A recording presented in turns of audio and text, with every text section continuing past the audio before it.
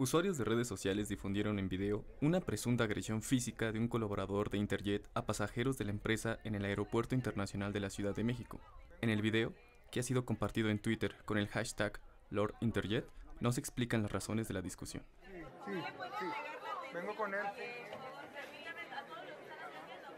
¿Qué vas a hacer? No me grabes. ¿Por qué No me grabes. ¿Por qué no?